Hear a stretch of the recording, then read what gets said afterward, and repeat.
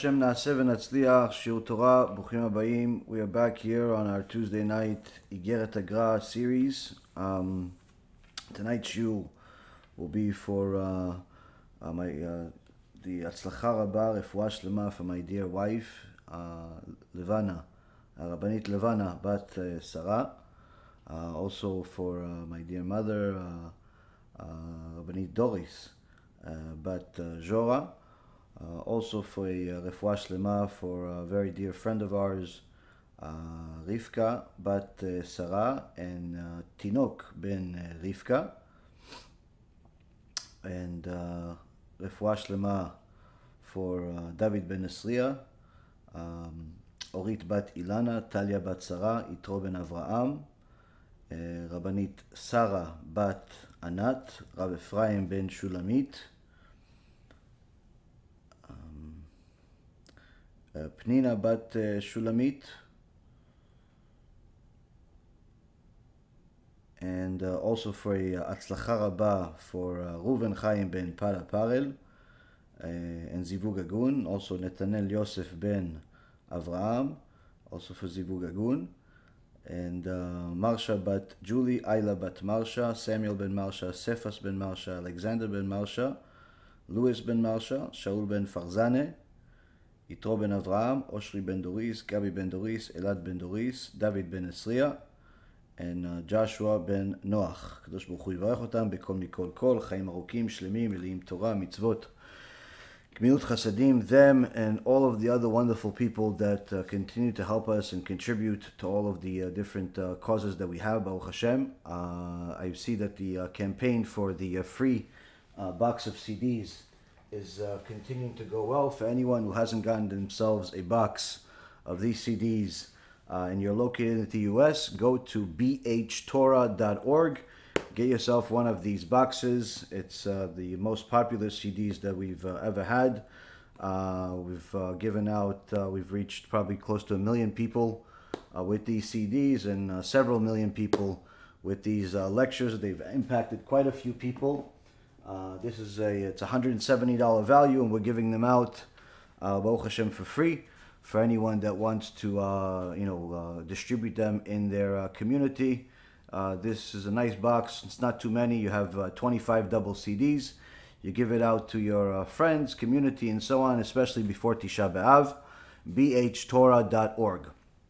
And anyone who can't give them out for whatever reason but wants to contribute, like some smart people have uh, have done, uh, and they become complete partners uh, that even get more merit than the people that are giving them. Uh, the people that are donating to them, you could also donate on that same website, bhtorah.org. Uh, with that being said, we have Baruch Hashem, a very special shiur. Uh, this is for all of you dear mothers, all of you dear mothers, and all of you uh, dear uh, fathers, uh, and all of uh, you uh, dear uh, young uh, men and women that want to be fathers and mothers. There's going to be a lot of relevant teachings that the Gaon Vilna is going to be teaching us today, Bezat Hashem, about chinuch, about chinuch of the of, of the kids. Things that I would say that if it was said today in your typical community, most likely the person will get arrested. Uh, why? Because we live we live in a very uh, lefty, liberal-minded type of uh, world today. Hence the reason why, as soon as children do not uh, get what they want, they decide that the first thing to do is to destroy property. Now, if it's just destroying their own house, their own toys, and things of that nature, uh, that's not necessarily the worst thing in the world because the damage is contained. The problem is that these kids have grown up and uh, they've uh, started, uh, you know, building organizations, wicked organizations, communistic organizations, like Black Lives Matters and all these other types of organizations, where as soon as they don't get what they want, or even if they are, they still do it anyway, and they decide to destroy public property. All of these people, all of these wicked, disgusting people that uh, decide to take uh, other people's property and, and destroy it for their uh, for their own pleasure, uh, or to uh, voice their opinion, whatever whatever the their so-called demented message is. This is the uh, the fruits of the labor of their parents, and it's the fruits of the labor of the wicked society that we live in today. Now, of course, this type of stuff doesn't necessarily happen in every country. Uh, in fact, it doesn't happen in almost anywhere uh, outside of uh, the United States. I mean, some of this stuff happens on a smaller scale in, uh, in some other countries, but nowhere near the amount of damage uh, that has happened in the U.S., the most uh, wealthy financially. you know, country in the world, but most likely the most morally poor country in the world at the same time. Uh, and uh, we see that because of how many lefty liberals, anti Torah, anti truth uh, people are uh, simply running the, uh, the government, society, corporate America, and so on. Now, of course, we're not going to be able to change all of that tonight, perhaps with the lecture. Uh, Kadosh Baruch Hu's hand is in everything, but nonetheless, we could all start with by looking in the mirror and seeing what kind of parents are we what kind of parents uh, are we going to be in order to know what kind of children we're going to have. Uh, now, of course, in today's world, that uh, when you tell people, listen, if, if your children uh, don't behave well, you have to rebuke them. Immediately, people start cringing. If you tell them, listen, if they really break the rules, you can even hit them. Automatically, you're going to lose the attention of, of, of uh, you know, at least half of the people and most likely they're going to start going against you as if you're some type of Hamas terrorist. And the reality is, is that parents that uh, you know that do not know how to parent, do not know when it's actually time to hit the children, they're evil parents. They're evil parents. If if you don't hit your kids, if it's necessary, and I don't mean hit them to break their bones, but hit them in order to rebuke them, in order to get them to change direction in their life uh, at that moment uh, then in essence, what you're creating is a new Hitler. Uh, and the reason why is because a child needs to know that the world is not hefker. It's not just for them to do whatever they want. And sometimes a child has to uh, be treated in such a way that uh, it's it's beyond talking. Now, of course, this is some of the details we're going to go into tonight. When it's proper, when it's not proper, what's the point of all of it? who's really saying this? Is this some type of uh, barbarian mentality or, or otherwise? I mean, technically, if you turn on uh, the news of Tum'ah in the world today, you may be uh, fortunate enough to, uh, to hear one of the talks of one of the liberal minded of today that actually has an entire organization telling society that they are morally unjust because they're not asking their babies, their toddlers, for permission before removing their diaper in order to change them. There's actually people that get airtime on television that say that we are supposed to ask the children, the babies, for, for permission to remove their diaper in, in order to change the baby who does not know how to talk and, or communicate or, or, or even go into a, uh, into a bathroom. But they think that it's morally uh, unjust. Or you have sometimes people think that they're supposed to uh, uh treat their children like they're adults. Uh, and the reality is quite the opposite, quite the opposite. And uh, it's important to know that uh, the sources of all the information that we have provided, uh, we're going to provide them, Hashem, like we always do, uh, B'dalkenu B'Kodesh. But uh, first and foremost, the person needs to know that this is what Da'at Torah is. This is the opinion of the Torah, and there's a, uh, there's a track record of different chachamim, different tzaddikim that followed, and different chachamim, different tzaddikim that made a mistake and erred, uh, and, and and saw the the outcome of their uh, action or misaction during their life, which will you know the Torah provides, as the Torah is the only unbiased document on planet Earth where it shows us the good and the flaws in the greatest people of all time, and this this this too is in there.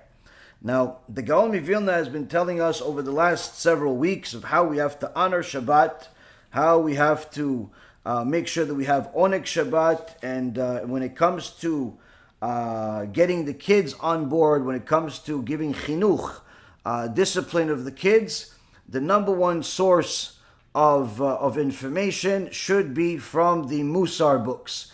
And the Musar books also includes the stories of the tzaddikim, stories of our sages, stories of our patriarchs, stories of our matriarchs. You know, you have Avraham, Yitzchak, and Yaakov, uh, Moshe, Aaron, David, Shlomo, all types of extraordinary uh, men that lived uh, throughout history that are listed in our Tanakh, and of course all of our tzaddikim, uh, Rabbi Akiva and his and his students, Rabbi Shimon Bar Yochai, uh, uh, Rabbi Meir Baal HaNes, and so on. And also you have the modern day sages, or more modern day, the last 800 years, the Rishonim, the Rambam, the Ramban, the Arizal, the Gaon Vilna, of course, uh, or even uh, the the ones that are still living with us uh, now or just passed on uh, not too long ago, like uh, Rav Elyashiv, uh, Rav Ovadia, the Steipler Gaon. Anyone that studies the works, the the the, the uh, bios of these tzaddikim, when you do it, you should do yourself and your children a favor and read it out loud so they could hear it. Even if they're not necessarily in tune like you are, uh, still they'll hear a few things here and there, and surely something will seep into those precious little hearts. Uh, it's always very good to have a uh, you know a, uh, a book, a bio of a tzaddik that you're reading at all times. We have a custom in our family that uh, you know we read uh, these specific books on Shabbat. On Shabbat, I take one of the Sipurei Tzaddikim, one of the bios of the Tzaddikim, and I read it out loud uh, with my uh, dear Rabbanit, my wife. And uh, Baruch Hashem, sometimes the kids sit in, sometimes not. But also during the week, during the week we have a uh, you know whole library, uh, Baruch Hashem, uh, of of different uh, stories for of, of the tzaddikim. Uh, different stories of the tzaddikim. There is a countless, countless stories that Am Yisrael has. No nation in the world, as great as they are in number, no nation in the world has as many extraordinary people as the Jewish nation. And this is factual. It's not theoretical and it's not a, uh, anything else. Simply, no other nation has great people like Am Yisrael has throughout all of our uh, uh, uh, generations. And one of the greatest things that you can do for yourself and for your children is to constantly read your kids stories of the sages, of the tzaddikim. So sometimes, you know, the bios uh, that are, uh, you know, thick, five, six, seven, eight hundred page books, perhaps they're going to be a little bit too much for, for a little three, four, five year old kid or eight year old kid. But nonetheless, there are smaller versions, kids' versions of those same stories Get those, get as many of them as possible, and read them out loud to your kids as often as possible. And don't worry, after you finish reading it, you can read it again. Kids like to see or hear the same thing 500 times, and uh, they, they enjoy it just the same each time. And one of the greatest things that uh, you could uh, ever hear your kid uh, uh, say is when you want to say, hey, listen, you want me to tell you a story? You start telling them a story and towards the at some point during that story, depending on how much uh, how much manners your kids had, they tell you, you know, Abba, that's actually in the uh, story uh, number five in the series of such and such. Meaning he heard the story, but he's okay with hearing it again, and he remembers it. One of the greatest things in the world that you can have from a kid. But nonetheless, this is one of our customers in our house, and Baruch Hashem, it's helped tremendously, uh, both the parents and the kids, and uh, it's good for a family to always have.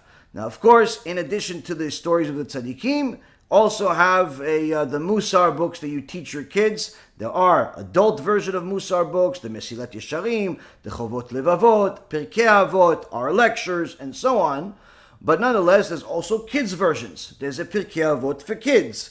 There's a all types of books that teach Musar uh, that are for the kids. And I've, I've told you there is a, uh, a very well-known artist by name of Gadi Pollack that is uh, a uh, Talmid Chacham as well, an extraordinary artist.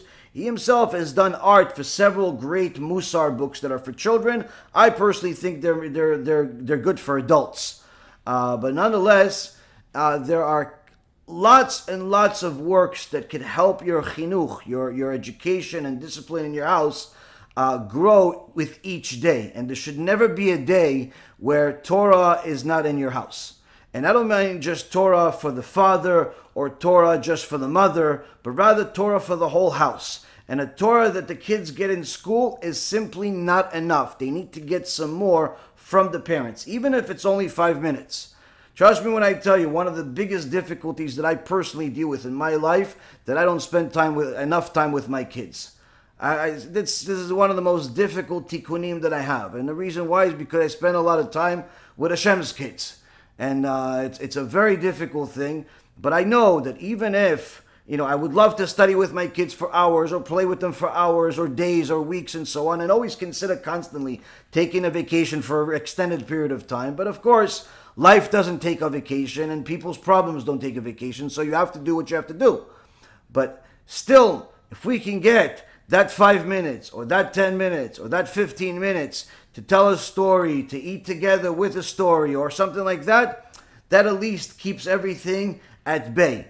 And sometimes that's all you can get, but at the very least, you need to get that. You need to do it for yourself and you need to do it for your kids. But sometimes, some people forget to do this or never learn that they need to do this, and uh, they uh, think that the kids are supposed to grow up by themselves and they're all going to learn by themselves. Perhaps they're going to get the education from the motorcycle club down the street or maybe they're going to get their education from some gangster that lives, uh, you know, in a uh, in, in, in cell block uh, eight, or maybe they're going to get their education from some classmate that's here today, gone tomorrow. You know, you never know who you're going to get your education from if you don't get it from your parents.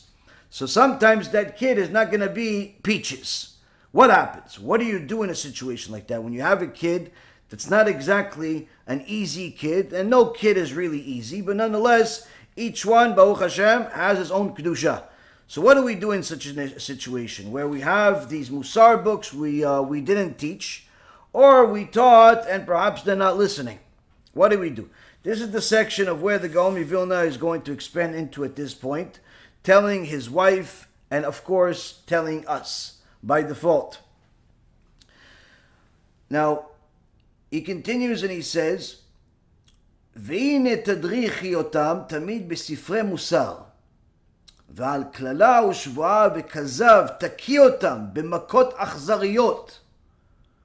ולא תרחמי עליהם כלל, כי חס ושלום בקלקול הבנים יענשו אב ואם מאוד. In this first section, the Gaon Vilna says something that in today's world is as politically incorrect as can be. And like I said before, if he said this in public, in a synagogue today, or some type of communal event, it is very possible that one of the Reshaim in the community will call the cops on him. Almost certain. Why? Is what he says.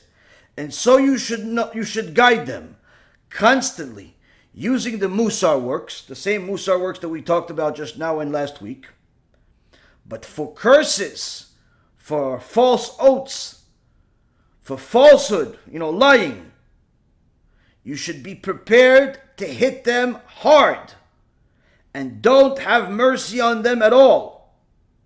Because God forbid parents will be punished severely for the misbehavior of their children. Here, the Gaon Mivilna is as clear as he can be about his understanding of how to raise your children, that when certain things happen, corporal punishment is a necessary evil.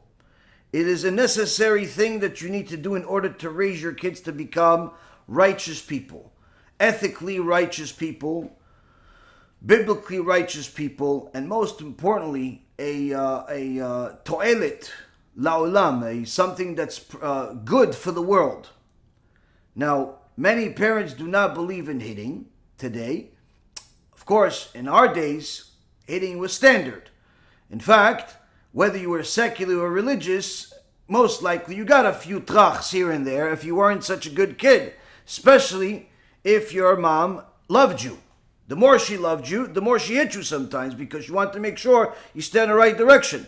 We laugh about it all the time, anytime my brothers and I get together, which unfortunately is not often enough because we all live in different states and we're all grown up and we have our own families. But anytime we get together or we talk, we laugh about it all the time when, when we were kids. Oh, you remember such and such when we were 30, 40 years ago when you did such and such and Ima took her uh, slipper and threw it and somehow it hit you? You know, it's you remember that and you laugh about it. Now, of course, you didn't laugh about it at the time, but nonetheless, when you get older, you understand sometimes you need a slipper to hit you in the face, you know, in order to get to the, the message. But today, if a mother takes a slipper and throws it at her kid, it's very possible that kid's calling the cops and that mom's going to spend a couple of days in jail and most likely lose that kid forever. It's very possible. In fact, it's even possible that if the mother even yells at the kid, and embarrasses him next to his friends, very possible that kid is going to go into the family safe, take the gun out, and shoot her in the face and kill her. It's very possible today. There is an entire section in prison in America today. And I believe it's probably the only country that has it, but I'm not sure about that fact. That's just my own guesstimate. There's an entire section, an entire section in prisons today just for children that committed murder. And there are children that are literally children. I'm not talking about kids that are like 18, 20, 25, and I'm calling them children. Literally children, 12, 13, 14, 11, serving 50 year sentences for killing people. Now, these kids got their education from somewhere. Surely they got some of their educations from the chachamim of the video game industry all the sages of the video game industry that teach them that shooting people is a good thing, especially if you get the most kills. So they got the chachamim, the sages of the gaming industry, to teach them some of their education. And of course, their very, very uh, intellectual parents, professor parents, are the ones that bought them this education. Surely they got some of their education from the very, very uh, uh, uh extraordinary and global industry of pornography Surely they got their education from there as well. Uh, and surely they got it from cell block number 8 and 12 and 11 and perhaps even their new boyfriend Angel. Now, this Rabotai is not exclusive to the non Jews. This has been an infiltration into the Jewish world the same. And not just the Jewish world, but even in the religious Jewish world. We have seen time and time again young kids that, for all intents and purposes, had the whole world in their hands, turn into gangsters out of nowhere. But of course, it's not out of nowhere. Of course, it's not out of nowhere, but it seems to everybody out of nowhere because no one actually ever thought that a video game could cause that much harm to lead a kid to shoot up a school. No one ever thought that watching pornography could literally deform a person's mind and hormonal system to such an extent that that person will rape somebody or perhaps even uh, you know commit pedophilia while he himself is a child i have stories rabotay karim i have stories of young people young people that come to me crying telling me about how they were raped as children Hashem Yishmol and it's not always what you would think. It's not always the teacher or the uncle or the brother, which is usually always close people. I've had one of the most one of the most shocking stories of the, of my life that I had to literally took me a few, to this day I'm still shocked about it.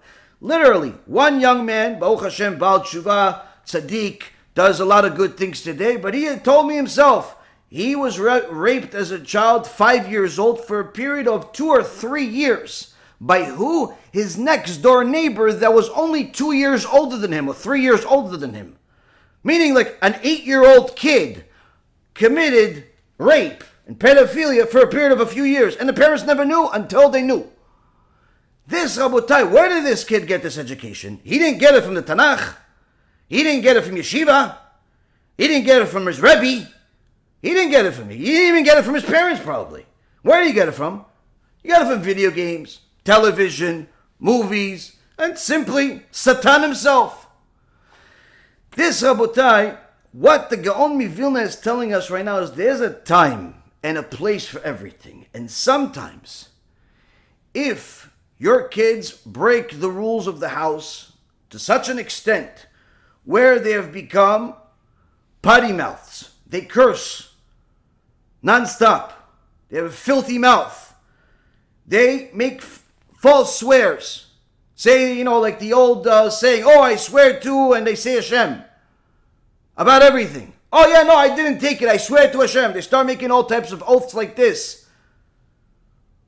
Worse yet, they become liars. Now, of course, little kids in the beginning, they don't understand the, the, significance of lies. And if you don't stop them and you don't tell them the significance, they can become a uh, eventually a Ponzi schemer.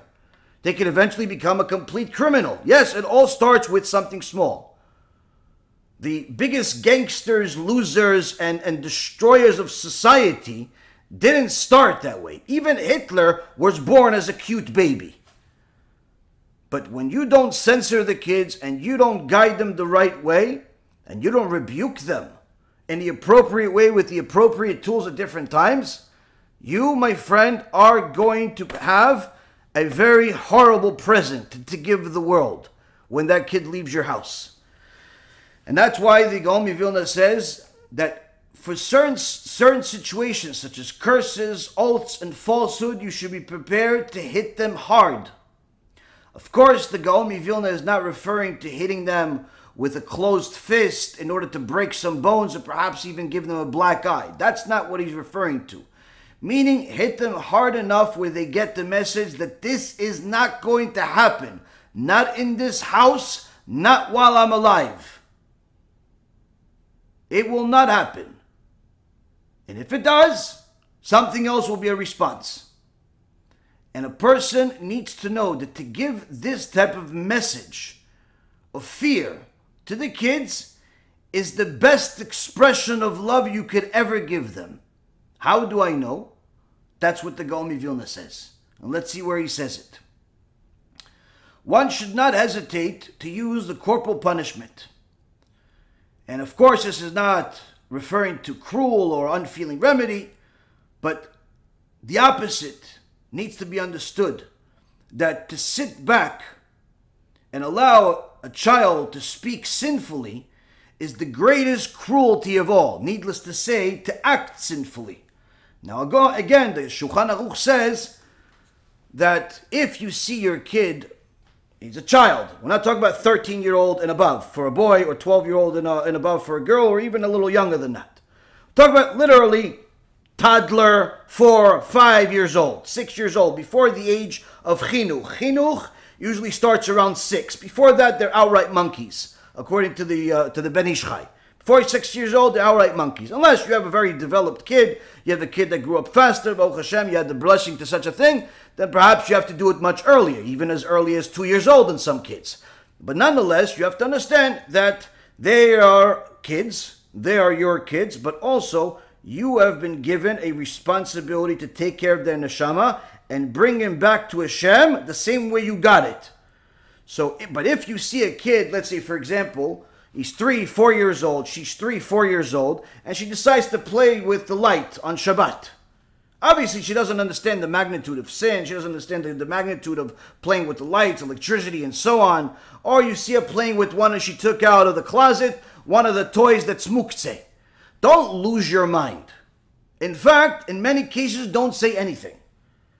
The Shulchan Aruch says, you see your kid doing certain things that are sin, if they're that young, don't even have to say anything. Why? Because they're not going to get the message first and foremost in many cases. Number two, there's not really much you can do. There's not really much you can do. Of course, if you can do things to get them away from the toy or from that uh, item, then of course do so. But don't lose your mind. Don't treat it as if you just saw your husband drive on Shabbat or as if you just saw one of your uh, adult children eat pig on Yom Kippur. Don't lose your mind. It's a little toddler. But that doesn't mean that if they do certain things that have nothing to do with the specific mitzvah of Shabbat and so on, but simply they're acting wrong. They're acting terrible. To say nothing is cruel, the Gaon Vilna says. And his commentary on Proverbs, chapter 27, verse 5, he says that the uh, main motivation that a parent should have when they're chastising their children should be their deep love for the child. And therefore, the Gaon Vilna says that the intensity of the rebuke is correlated with the depth of love the chastiser has for the recipient of the rebuke. Which means that a parent who loves their child more than anyone will resort to the most intense rebuke. While someone that's rebuking a different relative most likely will not hit them. Why? Because he doesn't love them as strongly as a parent loves their child. And even more so, the Gaon says that a person that sees even a brother or a neighbor or a classmate make type of sin, you won't even rebuke them at all. Why? They don't love them. They like them. They're an acquaintance. They like to invite them for Shabbat, to have a uh, nice talk, but love, non existent there. Non existent. Now, further, the Gaon Vilna says in uh, Proverbs 23, verse 17, he says that Shlomo HaMelech, in this verse, is telling the father that when the father punishes, when you, the father, punish your son with the rod in order to direct him onto the right path, know that your loving actions with the mere rod onto the temporal body will supplant the truly hideous fate of the Malchei Chabala, the destructive angels, maliciously inflicting otherworldly harm onto the eternal soul, a fate far worse. In so many words, the Gaon Vilna is saying, you dear father, you dear mother, sometimes you have to hate your kid because your, your kid just did something horrible. Horrible. He just did something that's inexcusable, and you're going to give him a nice chapcha. You're going to give him a nice slap. No. You may feel bad about doing it because you see your kid crying, you feel bad, ta ta ta, right? Kami Vilna says you have nothing to feel bad about. If you did it from love because you care about this kid, your hit, even if it was hard, even if he got uh, hurt a little bit, again, not intentionally trying to, you know, kill the kid, your hit is much better, much better than the hit that that child will get from the destructive angels that Hashem will assign to his soul if he continues on this path and dies this way as a sinner. Because once a person dies, a Kadosh Baruch Hu has to assign different employees that he has to every neshama. If that person is wicked, because his parents did not rebuke him, know that those hits that he's going to get from those angels of destruction are going to be much, much worse than you could ever imagine. So, in fact, what you're doing for him is an act of love. Again, because you mean to help him, not because you simply want to hurt somebody or take revenge. Now, the Gaon Vilna continues even further in uh, Proverbs chapter 13, verse 24, where he quotes the Sefer Akedah, which compares the father's rebuke to a woman applying makeup, saying that a woman will seek out the clearest mirror that's possible that's going to show every blemish on our face, from the large, unsightly ones to the minute speck, in order that she appear as beautiful as possible. And so too, one who truly loves his son the most will scrutinize him closest and see to it that in the end, not a blemish remains. Now, of course, to some people, this may seem barbaric, this may seem barbaric, this may seem uh, old fashioned, this may seem uh, uncivil, and so on and so forth, but you'll see most of the time it's their kids that cause the most amount of problems to them and to society. Now, there's a reason why the children of divorced parents tend to be the most undisciplined kids. They tend to be the most undisciplined kids. Why the most undisciplined kids? Because unfortunately, because the parents could not console their differences, to and simply separated from each other, what ends up happening is that the parents now, in many cases, share custody. And even if both parents are altogether normal parents, generally speaking, since they're sharing custody, she gets a few days, he gets a few days, or he gets uh, every other weekend, or whatever it is, what ends up happening is that the at least one of the parents, if not both, end up spoiling the kids every single time they see them. But not just when they're little kids and you can't really do much with them other than just buy them toys and and uh, and feed them and change them. But even when they're 8 and 9 and 10 and 11 and they get the point, but simply what ends up happening is that since the parents see, listen, I only have two the weekend with this kid. What am I going to rebuke him? What am I going to yell at him because he doesn't do his homework? Nah, come on, let me just go take him to the ball game. Let me just go hang out with them a little bit. Let me go play with them. Do, do, do, do, do. what ends up happening is that the kid only sees playtime with both parents and is simply never rebuked. That kid ends up becoming a little terrorist to society because he doesn't understand that there has to be limitations. I've met quite a few of these children in my life, and I've met them also as adults, and I remember working with some of them. And many of them are simply grown children, even when they're in their 30s and 40s and 50s. Not very much has changed from the time they were eight years old. They still think they can do whatever they want, and they cry when they don't get what they want. And it's a very, very sick type of person, horrible husbands, horrible wives, horrible people in society.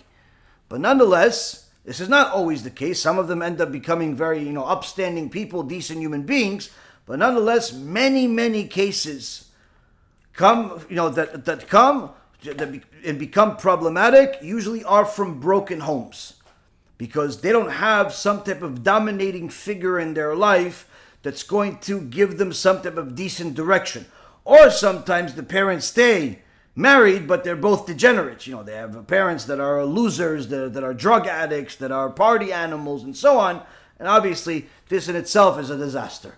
So, of course, there's an enormous responsibility on each and every one of us. If we're going to be parents, we have to be responsible not just to have bring the kid to life, but make that kid know enough about life that they could live it the right way and not become a destructive source uh, force of uh, in, in society.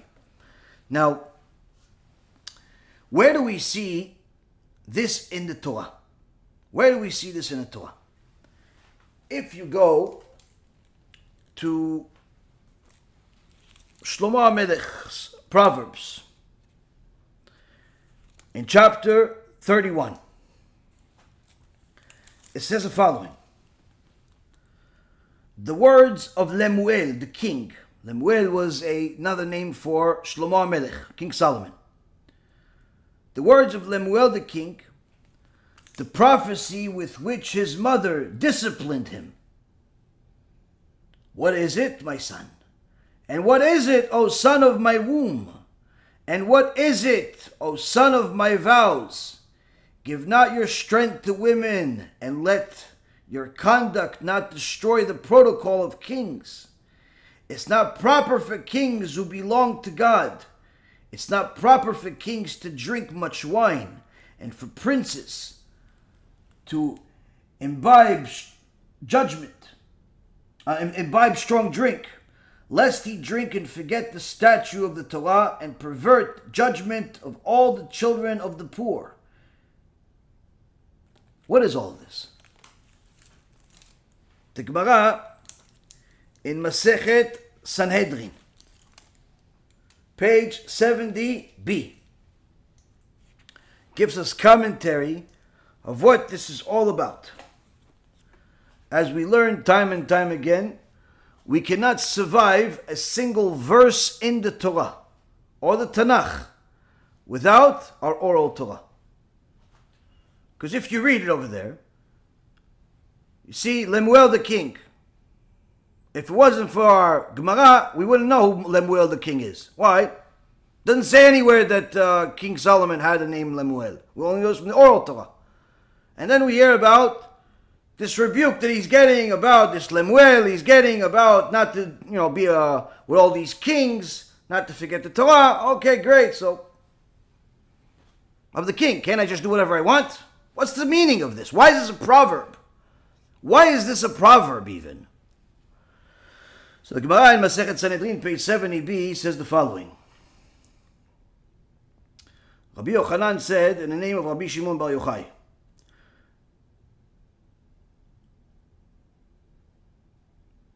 Lemuel is a name for Shlomo HaMelech,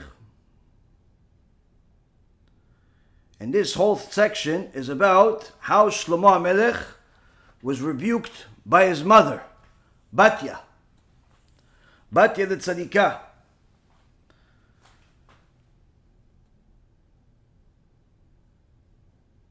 Admonishing him, telling him, What my son, what my son, son of my womb.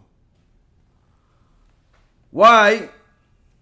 are you doing sinful things that brand you as my son?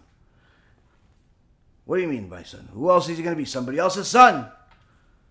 Everybody knows that your father, David Melech, had Yirat Shamayim, was a God-fearing Jew.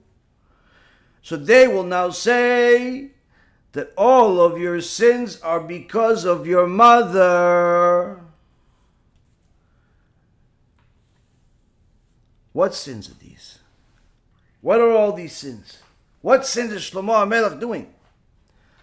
The Midrash says that when, when Shlomo HaMelech decided he's going to marry a woman of every nation in order to bring Mashiach, because there will be world peace. One of the women that he married was the daughter of Paro. Of course, he converted her to Judaism and married her. Now, some of these women were not honest converts and brought their idolatry with them. She was one of them.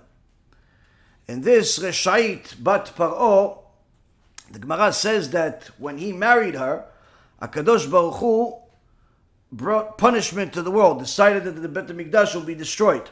But needless to say, this woman, when they first got married, she wanted all of the time of Shlomo Melech. Despite the fact that he had other wives and so on, she cared less. She wanted all of his attention. So what'd she do? She, when he would spend time with her, she wanted him to stay there. So she had the people in the uh, castle make the bedroom have a uh, the the uh, ceiling, the entire ceiling, look like the sky at night, full of stars and, and, and so on. So when Shlomo would wake up at some point, he would still look up and it would look like, like it's night, so he would stay asleep. Now, this may seem like not such a pr- big problem. It's kind of cute, even, right? You know, you stay, you want to stay with your husband. What's wrong with that? Problem is that it's completely selfish. Why? Because Shlomo Melech was the only one that had the keys to the Bet HaMikdash. He had the keys to the Bet HaMikdash. So when he stayed with her that one night and did not wake up on time, they couldn't open the Bet HaMikdash. All of the sacrifices are on hold. Everything is on hold. When Batya Bat Paro, when, when Batya, not Batya, Batsheva, I'm sorry, I've been saying the wrong name this whole time. Batsheva, the tzadikah, when Batsheva, which was old, already an older woman, when Batsheva was a uh, uh, um, already found this out, she's already an older woman. She finds this out that the Bet HaMikdash, the Bet HaMikdash is not being opened because her son didn't show up. She picks herself up, goes to where Shlomo Melech is in the bedroom. Everyone's scared to death. He's the king. Even the animals bow to him. Literally, Shlomo Melech was the most powerful king in the world. He was not just the king of human beings and all the countries. He was the king literally of the creation. Hashem gave him power and wisdom to be king over the demons, king over the animals, king over the birds, king over everything. So literally, when a lion or a zebra or whatever would pass by, they would stop and bow to him. That's that's the if anyone that reads the uh, uh, the uh, the midrashim and the Gemara and everything else that's written about Shlomo Melech, it's unbelievable literally unbelievable. Even the uh, the fantasy island of, of, of, Hollywood has not made such a movie about Shlomo Melech and all the true glory that he had in his time. There was so much money at the time of Shlomo Melech that literally gold became uh, like sand. There was he had an entire city of gold, and this type of power, you would think. I don't have to wake up early. I could just give the key to somebody else. What's the big deal if I'm late one day? When Batsheva, his tzadikah mother, heard this, she went to the room, entered the room, got him out of bed, with, got him out of bed, tied him to the pole, and started hitting him. Started hitting him, crying, saying all of this. What, my son? What? The son of my womb, the one that I carried for nine months, the son of my vows. What is this, my son? Why are you doing this? Everyone knew that your father's a tzaddik, he's a Yerei Shamayim, and they're going to blame me. as the reason why you're doing this. You're spending time with this girl over here, with this wife of yours, instead of being in the Bet HaMikdash opening it. And she starts hitting him and crying and hating him. And then she continues, she says, the Gemara in uh, Sanhedrin 70b says, All the other women of your father's household would no longer see the king's face once they conceived, meaning they stopped being intimate with King David as soon as they became pregnant. But I pushed and entered his chamber to be intimate with him, even during my pregnancy, because I knew that this would be good for you. It's good for the baby, according to the Torah. This is uh, not just the Kabbalah, this is Gemara, that there's a certain benefit to the baby when the parents are intimate during the pregnancy. But of course, there is a uh, explanation of the first trimester, second trimester, and third trimester. One is uh, neutral, one is really good, and one is actually bad. So, person needs to know.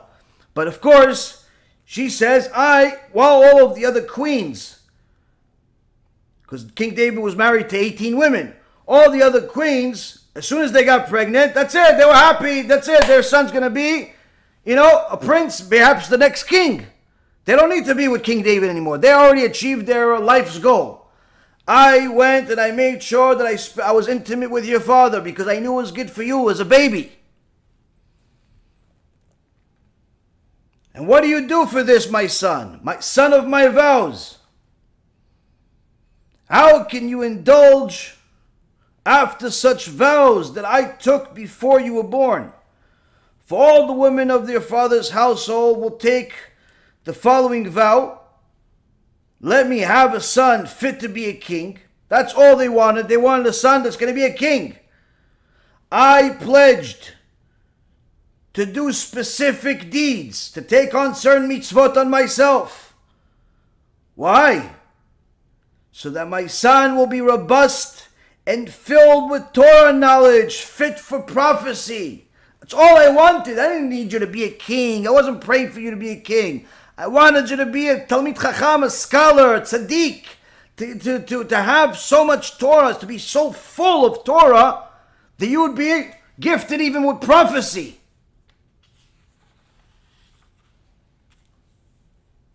This is what Bathsheba was telling our son Shlomo HaMelech. What are you doing? being in the company of kings who drink wine and become intoxicated, saying, Why do we need God? That's the reason why it was called Lemuel. Lama Lanuel. Why do we need a, uh, a God? Meaning this Lemuel was really a, a, a name of rebuke that Shlomo Melech had for this one mistake. and she's hitting him as he's tied up. Now, if you do this today to a grown man, your son, if he is in a position of power, he's a general of some kind, he's an executive, he's a president of America, whatever he is, if he loves you, simply he'll untie himself and uh, perhaps institute you in some type of uh, mental institution maybe pay for your own private island so you, you would never be able to leave. Or, you know, he'll do some type of favor to you that, you know, simply you won't die. But if he doesn't love you, most likely that'll be, you know, he'll have to write, say Kaddish about you from that day on. What do people do? The parent, what does Shlomo Melech do? His mom is hitting him, telling him, what are you doing? What does he do? What, what kind of, what kind of response does Shlomo Melech have? Shlomo HaMelech, Chacham Yikol Adam, the wisest man of all time. As his mom is hitting him, he says, Eshet chayil miyimtza v'rachok mipnei micha. Bat arba lebala v'shala lo ichsar. He sings to his ima and he creates the song on the spot, the woman of valor. The woman of valor who can find far beyond pearls is her value. A husband's heart relies on her, and he shall lack no fortune. This is the famous song the Jews sing on Friday nights on Kiddush.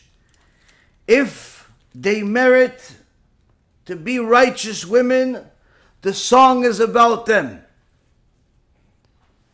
But even if they don't merit to be righteous women, the song is still valid because it's a song about the Torah itself. But nonetheless, Shlomo HaMelech wrote this song about his dear mother Bathsheba, the tzadikah, while she was hitting and rebuking him, saying, "You are the righteous one. You're right. A hundred million billion zillion percent right. I made a mistake." And he sings the song to his mother. This Rabotai is as clear a day example of what the good chinuch,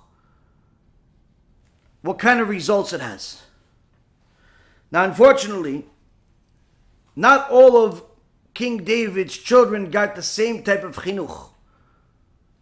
We have a couple of examples of some of the kids of King David, David HaMelech, that didn't get the good chinuch. In the book of Kings, chapter, uh, in, uh, in uh, book of Kings 1, chapter 1, verse number 5, we learn about one of King David's sons named Adoniah ben Chagit.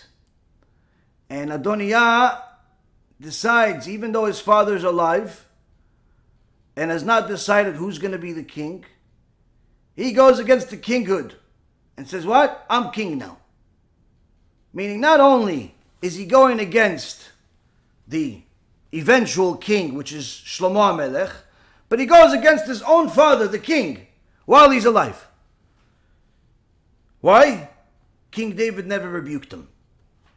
King David never rebuked him. He ended up becoming a Mored B'Malchut, going against the kinghood during his life. And if that was not bad enough, we also have Avshalom. Avshalom did the same thing but took it a step even further and tried killing King David. Why? King David never rebuked him, never told him no. So when Shlomo Melech tells us in Tehillim that a person needs to make sure that they have the right discipline on their children. And when you lack discipline on your children, you're creating a disaster. He's not telling us just from his wisdom, which is far beyond any man, but he's also telling us from his experience. In his own household, he saw siblings, his stepbrothers, not get the same chinuch that he got and ended up becoming murderers, ended up becoming rapists ended up becoming terrible, horrible people. So the wisest man of all time tells us, I got the chinuch from my dear mother, but Bathsheba, not just during childhood. Even when I grew up, I had honor of my mother that even when she was hitting me, when I was an adult, what the Shulchan Aruch says, you're not allowed to hit the kid when he's an adult, lest he hit you back. I had so much fear of my mother that even as a king, I knew she was right. She was a hundred million percent right. And I sang her a song that sang in every Beit Israel on every Shabbat, Eshet Chayil. All started with the song about my mother. One of the great customs that I learned from my uh, Rebbe's father, Rav Chaim, is when you sing the song of Eshet Chayil on Friday night, sing it to your wife. Don't sing it like you're just trying to get to the food. Sing it, sing it, and make sure the kids see that you're singing it for your wife. It's very beautiful for children to see their parents have the appropriate type of affection. And not just like, eh, pass the salt, eh, give me this, eh, eh. It's very good that the kids see affection from the parents, appropriate affection. They see that the parents love each other. Kids that see their parents love each other learn how to love. Kids that do not see their parents love each other and all they see their parents asking each other for stuff, all they learn how to do is how to be roommates. And if that, they don't learn anything. When little kids see their parents expressing love for each other, they understand what love is. They understand that this is what they want. This is what they want. Unfortunately, in today's world, many parents don't do this, or they do this inappropriately. They don't do it. They simply treat each other as if she's his servant and, she, and he's her slave. Just get me this, get me that. Do this, do that. Buy this, buy that. Fine, those are all things that are necessary. But if it's just that and there's no affection ever, the kids don't know why. Why should I ever? You know, maybe I should just get a slave instead of, uh, you know, that doesn't answer back. Or on the other hand, there's some disgusting people that show too much affection, where they start doing uh, all types of inappropriate things in front of their kids and so on and so forth. And unfortunately, I've met some of those people too, and the kids end up becoming very, very sick kids, spiritually sick kids. Very, very spiritually sick, where uh, many times the parents watch certain things on television or on some type of screens, pornography, and so on, even if the kids are in the room. And it's mamash like you, you think you think about and you want to vomit. You want to vomit, but this actually exists in the world. This exists in the world, and unfortunately, it exists even in the Jewish world. Why? There's no Torah in such a house. When there's no Torah in such a house, a fire will consume it. Not just the fire of physical fire, but fire of the Satan himself will destroy such a house. Now, the beauty of Shlomo Melech's house is that the house had an enormous amount of Torah, both from the father and the mother. Bat Sheva loved the Kadosh Baruch Hu, loved the Torah, and was an extraordinary tzadikah. Extraordinary tzadikah. And she merited to be the mother of the Mashiach. Mashiach comes from her. Comes from David Melech to Shlomo, all the way to Mashiach of today. So Bat Sheva was not just a, uh, oh, she got lucky. She was an extraordinary woman. And when she saw that her son was erring, was going against Hashem, she did not hold back. King or no king, may he kill me, not kill me. It's better off already to die than to have a kid that goes against Hashem. Because everybody understands that if you give your kid the right chinuch, you're much more likely to get a better product in the end. Now, the Gaon Vilna continues telling us all types of scary things about what happens if the parents do not rebuke their kids. And in the Sefer Even Shlema, in chapter 6, halacha number 1, he says that a person needs to supervise his children closely, making sure that they're following the correct path, because the parents of the children whose behavior is corrupted will be punished by heaven severely. And even if the father is righteous and he has good deeds protect him from direct harm, the father will ultimately be taken out from Gan Eden and brought to Gehenom just to see his son's torment over there. Meaning the guy is righteous, learned Torah, did mitzvot, did what he did. But his son, he didn't give him the right chinuch. The kid went off. If it's the father's fault, the father gets punished for it. Severely, he gets hit also, he gets thrown in the Gehenom also. But if it's not the father's fault, but the kid is off, the father still gets punished for it. By how? They take him out of Gan Eden, they put him in Gehenom. Here you go. Here's your son. Look at that. What the uh, what the Satan is doing to him. Look what the. Oh, he just chopped his head off. You saw that? Yeah, that's your son. That's your son. Oh, they're putting him back now. Let me show you what else they're gonna do. Oh, they're dipping him over here. They're dipping him over here. Oh, now he's in chamber number five. We're gonna take him to chamber number four. The father has to see this. And Chafetz Chaim quotes the words of the Gaon Vilna that we just read and continues to elaborate on it, saying, Who can possibly imagine the father's anguish upon witnessing his son's torment? Even in this world, should one's child whimper from a little prick in his finger, the father's heart will be pained severely. all the more so, how tortured will the Father be as he witnesses the destructive angels created by his own Son's sins inflict agonizing pain upon his beloved Son. How the Father will quail from the sight, how cries will burst from his heart as he watches all this powerlessly to help him. And so, the parent must do all he can to prevent his son and himself from su- suffering such fate. Words of the Chafetz Chaim. Now, these destructive angels, Rabotai, are not destructive angels out of nowhere.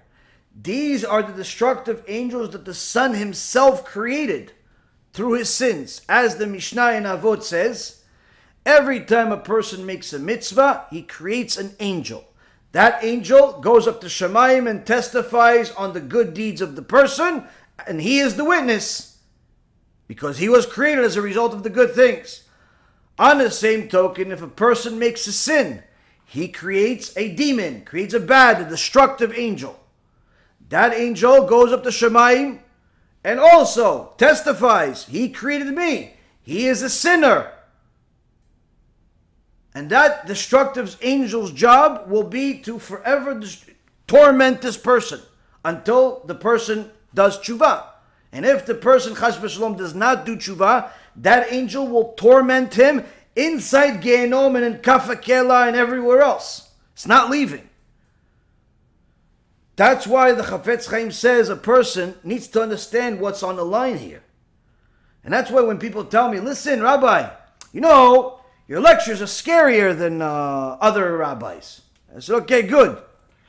Well, they helped me. They helped me do tshuva, and uh, you know, and, and it really changed my life. They say, you know, and a guy just sent me an email the other day. Say, oh, Baruch Hashem, listen, Rabbi, I was a bachur yeshiva. I learned yeshiva my whole life, but I had a problem that nobody else knew. What? I was addicted to pornography. And for two years, I was looking for a shidduch and nothing worked. Two years I'm looking for a shidduch, nothing worked. I'm a good guy, come from a good family, good bachur in yeshiva, everything good, but shidduch couldn't find. Then one day I came across your film, your movie, your lectures about tikkun HaBrit, and realized that my problem is even worse than I thought, and I immediately stopped. And literally within a matter of a couple of months, I not only found my basheret, my my my my uh, the, my zivug, but we're getting married right now. Mazal tov. You know how many of these stories we have? Baruch Hashem, Yishtabach Shemo But this kid didn't learn it from where he was supposed to learn it. He didn't learn it from his parents. He didn't learn it in yeshiva. He had to learn it from me. He had to learn from our lectures. Baruch Hashem. It didn't, uh, he's still young. But some people, they can go through an entire life and suffer much more than just a few months of looking for a shidduch. Baruch Hashem, his Torah had enough strength that it gave him merit to find the truth when he was really looking for it. Some people can go through life 30, 40, 50 years old, still not finding the truth because no one wants to give it to them and they're not really looking for it. But here we see that sometimes you have people say, listen, your lectures are helpful. They help me, but they're too scary. Maybe they're not for everybody. And I tell them it's the opposite. The fact that they're scary is what makes them for everybody. What, you mean that somebody that's uh, 10, 11 years old should watch your movie about Tikkun HaBrit or the shiur about Gehenom? Yes. Because if he watches my shiur and my movie and all the lectures that are scaring him to death, he'll do tshuva. He'll do tshuva and he will not want to go to Gehenom. He will do whatever he can to stop doing the actions that will lead him to Gehenom. And if he doesn't watch it, then you are simply putting him in Gehenom. Yeah, but isn't there a nicer way of doing it? Apparently there isn't. Because if there was, somebody else would be doing it. Somebody else will be doing it the world would not have over 80% of the Jewish people desecrating Shabbat. The world would not have almost a, a large majority that's even greater than 80% doing things that are immoral according to the Torah. Wasting seed, pornography, adultery, and so on and so forth. This, Rabotai, this type of issue can only be dealt with with harsh words of truth. That's how people change. And that's why I always tell people it is better that you listen to my scary voice than hear the voice and the sounds of the wrath that comes from those angels of destruction that Hashem will have to assign to your neshama as a result of not listening to my voice and not listening to the rebuke. So you have to decide which sound you want to hear. You want to hear my sound that's perhaps may scare you and the words may scare you but eventually will lead you to do tshuva. Or you want to just hear the hits that are inflicted on your neshama in Gehenom and in Kaf HaKela and all those horrible places and even in this world. It's your choice which sound you want to hear. They're both scary. Just one of them doesn't hurt as much as the other. This is one of the most important things that the, we're learning here from the Gaon Mivilna, which was a posek. He wasn't a Musar teacher that wrote a bunch of Sifre Musar that uh, about Gehenna and so on. Surely he talked about it and discussed it in some of his works and so on. But he is known as a Gadol HaDor, he's a posek. But here he's constantly talking about things that most people in today's world would consider scary, Musar, fire and brimstone. Some people would even reject it and make it, oh, no, no, it's not really. It's analogies and all types of other fairy tale beliefs. Like the clip that we uh, publicized this morning, that this, you know, shows the proof that unfortunately the world is full of liars that call themselves rabbis especially if they're coming from Chabad and telling you that there is no Gehenna of fire and brimstone and, and, and hitting and so on. That's all fairy tale because their own job, their own uh, uh, Rebbe, their own Rebbe, the Baal HaTanya, has an entire several sections in the Tanya that talk about the details of Gehenom, of Kaf HaKela, and so on and so forth. The Gehenom of fire, the Gehenom of snow, the uh, Kaf HaKela, and so on and so forth. And we read from the book in the Kutema Amarim in chapter 8. So, of course, they're not quoting that. They're quoting their own mind, their own distorted mind. It has nothing to do with Chabad or Hasidut. But they call themselves Chabad and they represent Chabad. And unfortunately, they're the false Erev Rav of the generation. They're the liars. So, the Gaon Vilna which as a side note was very, very much against Hasidut for different reasons, he is saying here that the understanding of the punishment that will eventually come to those children that end up becoming wicked adults and those parents of those children that have become wicked, the punishment for those people is horrible horrible according to all measures. Lest the person does tshuva. Person has to do tshuva. If he doesn't do tshuva in his own actions, which include the way he disciplines his kids and she disciplines our kids, if they don't do tshuva rabotai, they're going to have a very, very big bill. A bill they don't want to pay. And all of those women that walk around immodestly without a head covering, or worse yet, with a immodest wig that's longer than the exile, thinking that this is the good education that they're offering their kids, don't be surprised if your kids end up going against you on a regular basis and they can't stand you and they disrespect you and they view you as a hypocrite even if they don't know why you're a hypocrite. These are all messages from heaven. But nonetheless, many times you see that parents don't necessarily take this stuff into account. The Avot Rabbi Natan in chapter 14, Mishnah number 6, or Baraita number 6. There's a uh, story about Rabbi Yochanan ben Zakkai, who lost one of his sons. And his Talmidim came to him to try to comfort him. The first five Talmidim did not succeed. First four Talmidim did not succeed. But Rabbi Elazar ben Arach, who the Rabbi Yochanan ben Zakkai said is equal weight against all of the other Chachamim. He said that, listen, Kvod HaRav, if a father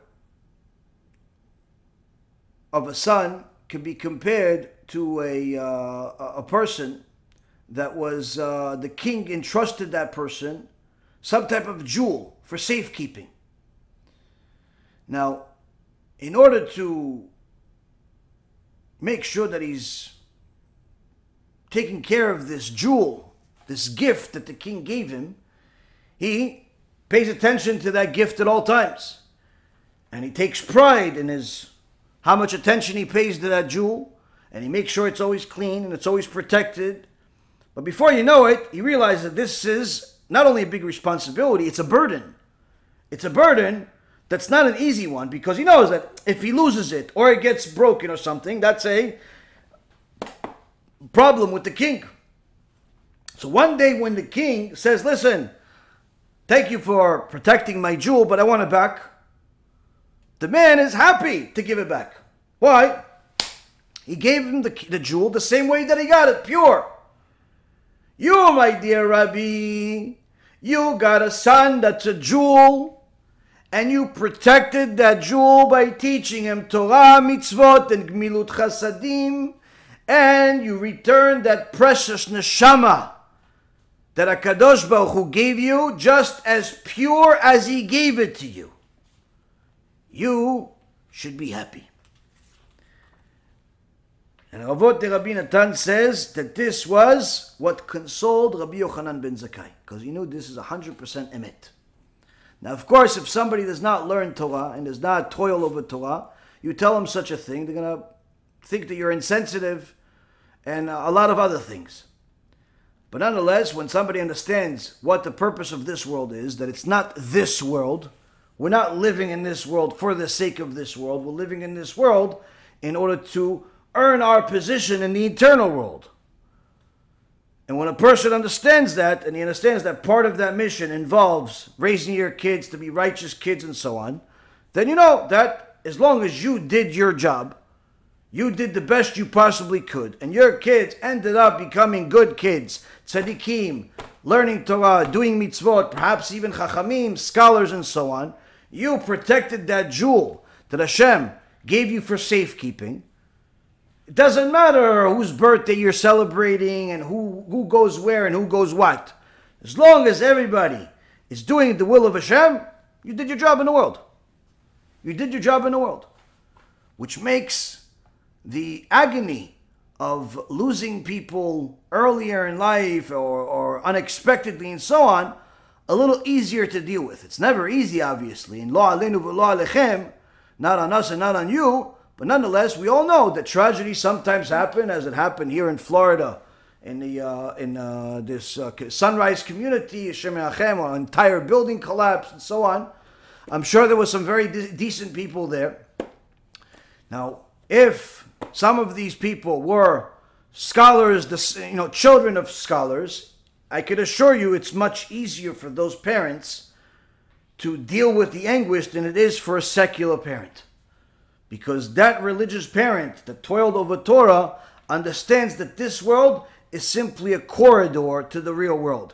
This body is simply clothing on the on, on the real person, which is the neshama. It's just clothing. And all that happens is after a person dies, is they change clothing. That neshama goes somewhere else, goes to Shemaim if he's righteous, goes to Gan Eden, and eventually to Olam Haba. Really, the, uh, the only thing that happened that's negative is the fact that you won't be able to see them until you get there yourself. That's it. No, no reason to over mourn for years and years, like unfortunately some people do in a secular world where they literally they lose somebody that's important to them and they end up losing themselves. They end up crying for the rest of their life. Of course, that's not the right thing to do. Hashem left you in the world so you can live in this world, not so you could uh, mourn for the rest of your days. But nonetheless, it's not easy. Without Torah, it's impossible. And then the uh, Gaon Vilna continues in this letter saying, and even if one, ואף אם תדריכי אותם תמיד במוסר ולא יקבלוהו, אוי לאותה בושה והצער והביזיון בעולם הבא. את אביה היא מחללת, כמן קריין לרשע, בן צדיק רשע, בן רשע, וכולי. And even if one guides them, the children, constantly in Musar, but the, but the children don't accept it. Woe to one's sorrow and shame in the world to come. As it is written in uh, Vaikra, uh, the book of uh, Numbers, chapter 21, verse 9, she defiles her father and in such a case, the Gemara in Masechet Sanhedrin, page 52a, says, in such a case where you see that the uh, uh, the uh, the son of a righteous man is a wicked person, you can actually call that wicked person wicked son of wicked. Meaning that generally speaking, if a person is righteous, they're righteous. If they're wicked, they're wicked, right? Now, if he's wicked and his father's wicked, you can call him Rasha ben Rasha, wicked person, son of wicked. If he's righteous and his father's righteous, Tzaddik ben Tzaddik. But if he is wicked and his father's righteous, generally speaking, you're even allowed to call that there is father wicked now if he didn't give him the right chinuch. If the father did not give him the right chinuch, then you say Rasha ben Rasha, wicked son of wicked. But of course, if the father did everything possible and toiled and, and prayed and did everything like a uh, Chizkiyahu did before Menashe came into the world, who started his life as a very wicked person, but eventually did tshuva. But Chizkiyahu was a Malach Hashem, was an angel of Hashem, was a tzaddik. So you couldn't say that uh, Menashe is wicked son of wicked, and, and in essence call Chizkiyahu wicked. Menashe was wicked, and his father was righteous. But on a general scope, if a kid is wicked, most of the time it's because the parents didn't try hard enough. Most of the time it's because the parents did not try hard enough. What's trying hard enough? What's trying hard enough, Rabotai? The Mishnah Berurah, section 47 in uh, Al 10, says that parents should always have tefillot, prayers, davening for their children on their tongues davening that they are they will become lumde Torah, meaning people that study Torah. Daven that they, your kids will become tzaddikim. Daven that your kids will be baale midot tovot. They will have good character traits. Don't daven that your kid's going to be a doctor. Don't daven that your kid will be a millionaire. Don't daven that your kid will be uh, financially settled in uh, a special town up in upstate New York and have a vacation house in Beverly Hills. Don't daven for stuff like I said. Do not waste your time. Do not waste your precious prayers on such things. Pray that your kids will be lomde Torah. They will study Torah. Whether they become also working in the business world or not is not necessarily as, as critical. Some people do, some people don't, but most important thing is that they learn Torah every day of their life. No vacations. Even on Tisha B'Av, there's Torah to learn. Even on a day of, uh, of, uh, of uh, mourning. There's Torah to learn. Torah of, uh, of, of Avelut, of mourning.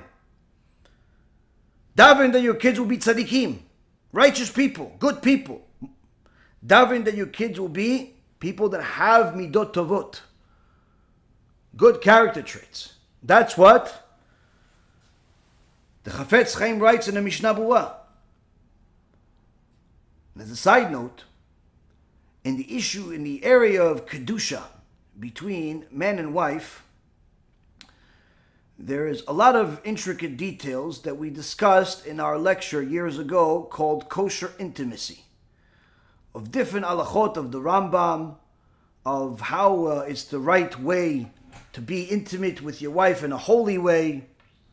Although there are certain things that are, are allowed, doesn't necessarily mean that you need to do them. Although there's certain things that uh, uh, people do doesn't necessarily mean that you need to join the club. There are certain things to do, there are certain things not to do. Everybody needs to know where they stand in life. Now, generally speaking, we advise the average people to do everything, just make sure, as the Rambam writes, just make sure not to waste seed. You can do what you want to do with your wife as long as she's pure. She went to the mikveh and so on. You can do what you want, just make sure not to waste seed. And make sure, obviously, that she's tehorah, she's not nida. All of you young people that are unmarried and you still have boyfriend, girlfriend, that you're acting as if you're married, you should know that you're going to go to Genom. Unless you do tshuva immediately. And even if you end up marrying that person, you're going to end up going to Genom with that person. Unless you do tshuva. Intimacy is forbidden before marriage. And needless to say, intimacy is forbidden if the woman did not go to the mikveh. And if she's not married, she's not allowed to go to the mikveh. So that means that all of you guys that have girlfriends, and all of you girls that have boyfriends, and you're intimate, you're going to Genom. And probably Kaf HaKela also. Unless you do tshuva and you stop right away. Right away. No joking. This is to scare you. But it's also 100% to warn you from the inevitable. And many times those people that are intimate before marriage end up breaking up anyway. Sometimes as a divorce, sometimes before the marriage, sometimes during the actual Sheva Brachot even. It's a disaster. Why? Because they started their life in a cursed way. Now, the intimacy in Judaism is a beautiful thing. It's considered, unlike in the idolatrous world of Christianity, intimacy is considered a holy event in Judaism. It's a very holy thing. One of the ways that we as a Jewish people make ourselves holy is through the way that we are we express our intimacy, through the way we preserve ourselves and so on and so forth. To be with your wife is 100% a mitzvah when she's allowed to you. It's a mitzvah from the Torah. Even if there's no kids possible, it's 100% a mitzvah. And it's a very holy thing. Now, sometimes a person will have the merit that Hashem will give him kids. Now, if that person has a little bit of Torah mind, they're going to think before the kid comes, what kind of kid do they want? because they know that Akadosh Baruch Hu lacks nothing. Ayad Hashem Tichsar, meaning that Hashem's hand is not short for anything; He can give you anything. So you could ask Hashem for anything. You could ask Hashem not only for money and not only for a zivug, but you can even ask Him for a specific baby. Now, one of the critical times to think about this is before intimacy before intimacy with your wife, before intimacy with your husband, it's a very good idea to pray. It's even a good idea to study a little bit before intimacy. But so much so that if a person wants a truly holy neshama to come to this world, they will sanctify themselves through their actions, not just during that last day, last minute, but everyday actions. They will sanctify themselves to such an extent that they will be able to understand the message that I'm about to give you. If they have not sanctified themselves, what I'm about to tell you will sound disgusting in their mind, perverted, or, uh, or, or demented, or, or something wrong. If you don't understand the message but you're neutral about it, you're, you're not in a bad shape. You're in pretty good shape. If you think perverted thoughts about what I just what I'm about to tell you, you're in you know should be getting a spiritual ambulance. Should be getting a spiritual ambulance. Keep listening to the shiur, and perhaps that will be the ambulance. But if you do understand it, you're in good shape. What I'm about to say, the Or HaChaim Akadosh, Or HaChaim Akadosh, only a few people, I believe four tzaddikim in history, were called Akadosh. Or HaChaim Akadosh writes that if a man wants a holy child, a holy child, right before he releases his seed, yes, there's action, there's pleasure, and so on, but he still has his mind on a Kadosh Baruch Hu, and right before he releases his seed, he should think about what midot, what character traits he wants this child to have. That's what he should think. Before the seed comes out. Because according to the Chaim, once the seed is out, that's it the kedusha that's supposed to be in it is gone. Now, of course, doesn't necessarily mean that every time seed comes out of the person's body, it's going to end up in a child. But that means that he still has to do it every single time. So he has to be focused, not just during the act. He already has to be focused before. He already has to live a life of focus on a Kadosh Baruch Hu. And he has to think about it at a, at a moment that usually most people have no control over themselves. Unfortunately, most people are like animals. They're like, just a, uh, let me just a, uh, have this uh, ecstasy that's like their purpose of life, unfortunately, like animals.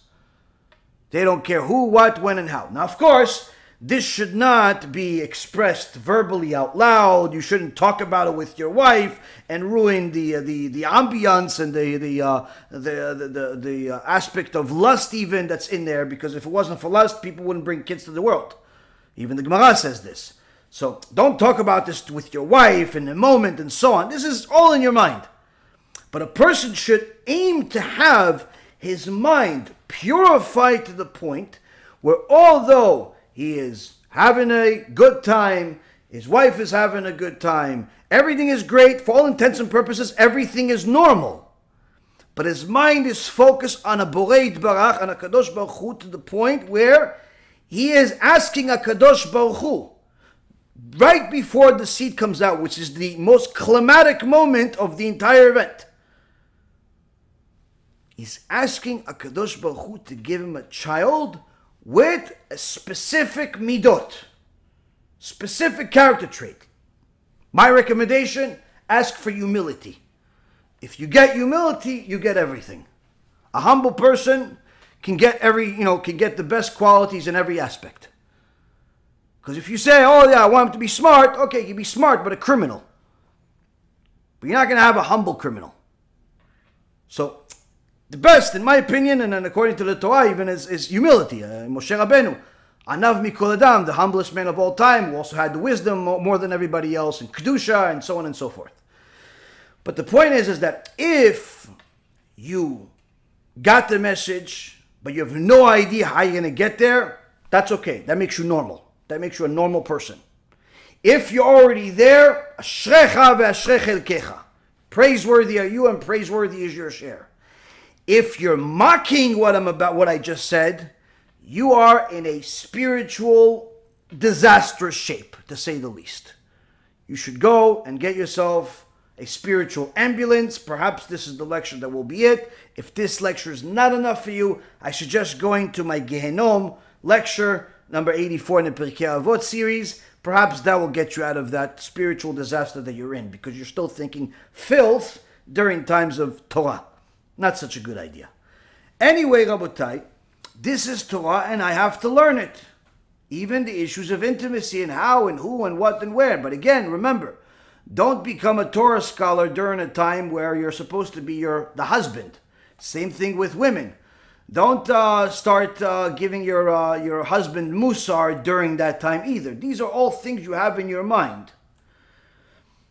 But the key is that the prayers have to start even before the kids come to the world. Needless to say, you have to pray for your kids while they're in the world, constantly. At every opportunity you have, pray and pray and pray for your kids to be righteous, to learn Torah, to love Torah, to love mitzvot, and so on and so forth. Pray for them nonstop a couple came to the Steipler Gaon with a one year old child asking for a blessing. The Steipler told them that they're late. And they said, No, no, Kvod the baby's only one years old. And the Steipler Gaon says, Yes, exactly, you're late. You were supposed to pray even before the child came to the world. Ask for a blessing even before the child came to the world.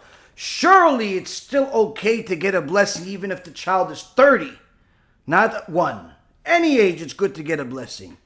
But to really get a blessing that the kid is going to be righteous, ask for something even before, do tshuva even before, work on yourself even before. Be smart by preparing ahead of time with the blessings, with tshuva, with everything. Now, there's a extraordinary story where in uh, Tana Devei Eliyahu, in chapter 18, it says that there was a certain God-fearing Jew who was a Kohen and had 10 children. six sons and four daughters. And every single day, this tzaddik would daven for his kids, pleading, begging, and crying to HaKadosh Baruch Hu for mercy, so that not a single one of them would ever go off the derech and turn to sins of an immorality.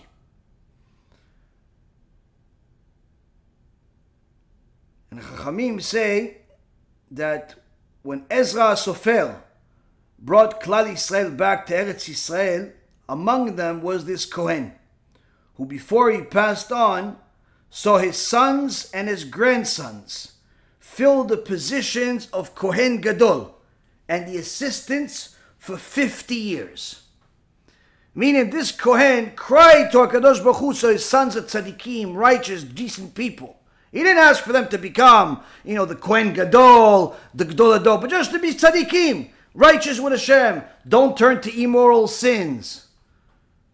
You prayed for that, HaKadosh Baruch Hu says, I'll even give you more. I'll even give you more. Same thing it says in Gemara Masechet Yoma. It says about a special tzaddikan named Kimchit. Kimchit had seven sons, all of which became Kohen Gadol at some point during their life. When Chachamim asked, How? How is it that you merited to have all seven of your sons be such tzaddikim that they're Kohen Gadol? How? She said, Because my whole life, the walls of my house never saw my hair. The walls of my house never saw my hair. And the Yerushalmi says the walls of our house never even saw the skin of our body. Meaning that when she changed her clothes or when she changed her kisui rosh, always there was covering, there was always modesty. Always modesty. This is why also, Rabotai, a woman, if you're going to change clothes, always change in the shower. Never change in the bedroom and, and, and walk around, Hashem Yishmor without clothes on and things like that. Never ever do such a thing. Always change your clothes inside the bathroom. There are both halachic reasons for it, and there's also mystical issues, kabbalistic issues, all types of demons and dibukim and so on that are constantly looking for women when they're at that time. So it's very, very uh, immodest to walk around immodest, even if you're alone in your house. But needless to say, if you express higher than than, than uh, the obligation of modesty, meaning you're even more modest than you have to be. You're changing, but you're changing even when you're changing, it's in privacy. That type of modesty will be a source of education that your kids will benefit from, even if they never see such a thing. But your daughters will learn from you. And even your sons will know what to look for in a wife when they understand how righteous their mother is. That they never even see their mother's hair. They never see their mother's skin and so on and so forth. The Shem of some of these mothers that walk around half naked next to their own sons, living a delusional life, thinking that their sons are not thinking about them just because they're their mothers. It's unfortunately a, uh, a, a taboo topic, but nonetheless, it does happen. It does happen. This is one of the things that the Satan destroys people's lives with.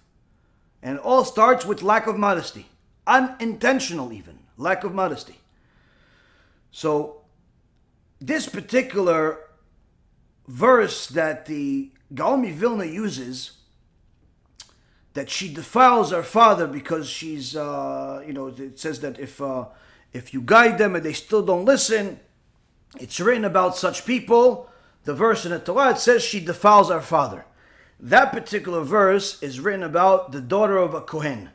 The daughter of a Kohen at the time of Moshe Rabbeinu, the time of the Beit HaMikdash, that went to the uh, route of immorality even while she was in the house of her father, meaning unmarried woman.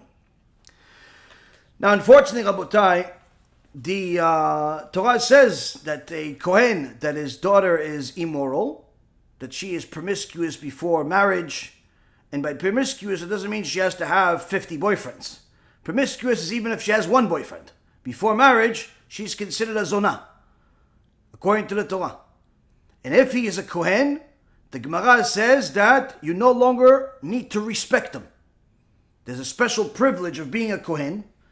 And the Gemara in Masechet Sanhedrin, and also the uh, Paskin Ta'alacha, the Ramah in Shulchan Aruch, Orach Chaim, uh, section 128, Alacha number uh, 41, and also the Magen Avraham rules the same way, says that a Kohen that has a daughter that is uh, immoral, no honor needs to be reserved for that Kohen, such as serving the Kohen first, and all types of special honor that's given to the Kohen.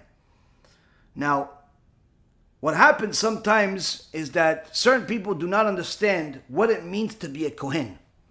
A Kohen is, in essence, a unique species among the Jewish people.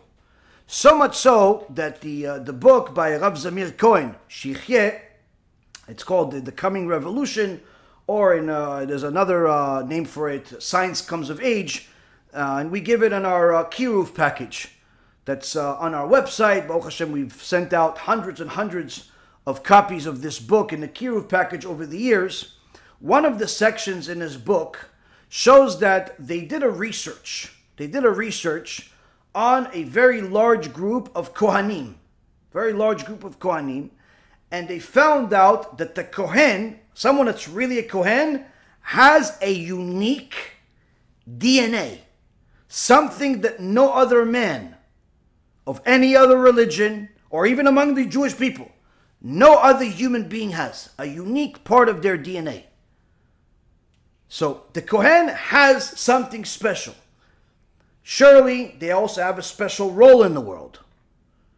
But if a person does not understand the role of a Kohen, the uniqueness of a Kohen, the obligation of a Kohen, they could treat themselves or the Kohen as if they're just anybody else. There's nothing special about them, and unfortunately cause a lot of disaster and bring themselves or other people a cursed life. Now, a Kohen, Rabotai, is not allowed to just marry anybody. Needless to say, Jews are not allowed to marry just anybody. If you are a scholar, you need to marry a woman that's coming from a good family. You can't just marry any zonah that's pretty. You have to marry into a good family. If you are the daughter of a Kohen, you have to marry a Ben Torah, someone that's coming from a not only a religious family, but someone that's coming from a family of Torah. These are things that are very necessary. And a woman that doesn't, a family that doesn't, uh, you know, observe these things, unfortunately has many problems. Now, of course, the Kohen is someone that can't marry non-Jews, just like all non all Jews cannot marry non-Jews. But even more so, a Kohen cannot marry even certain Jews. A Kohen cannot marry a widow. A Kohen cannot marry a divorcee, even if it's his own divorce even if it's own wife. That, but he divorced her, he can't remarry her. A Kohen cannot marry a convert, even though for some reason the Yetzer Hara tries to convince a lot of converts that the only thing they want is a Kohen. I don't know. It's like uh, Shlomo HaMelech says, Maim gnuvim. Stolen water are, are, are sweeter. Obviously, all water tastes the same. But if it's stolen, he says, oh, maybe it's sweeter. That's people always want what they can't have. Strange, but Many converts feel offended that they can't marry a Kohen. It's very, very strange, Yetzer Hara. But nonetheless, Kohanim cannot marry certain people. But one of the things also is that a Kohen cannot marry a woman even if she came from a Torah scholar's house, even if she came from the best house in the world. But she was intimate with a non Jew, even one time a Kohen is not allowed to marry her under any condition. Now, unfortunately, this issue has come across my desk several times. And I've told you a story about this perhaps a year or two ago where I had a student of mine where she met a Kohen. She met a Kohen and she wanted to marry him. And she asked me about it, and I told her, I'm sorry, but you can't marry this Kohen. And she said, Why not? He's a nice guy. He likes me. I, I like him. Or he's Jewish. I'm Jewish. What's wrong with him? And I had to break her the news that because she was intimate with a non Jew at some point during her life, before she did tshuva, she's not allowed to be with this Kohen. Of course, this broke her heart, broke his heart, broke a lot of hearts, but nonetheless, that's the halacha.